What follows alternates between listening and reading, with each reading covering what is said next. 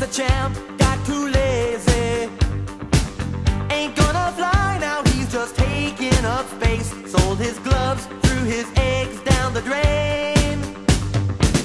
But he's no bum, he works down the street. He bought the neighborhood deli.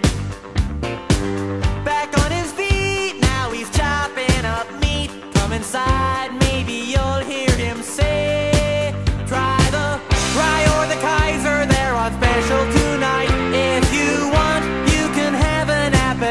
appetizer you might like our salami and the liver's alright. And they'd really go well with the rye or the Kaiser.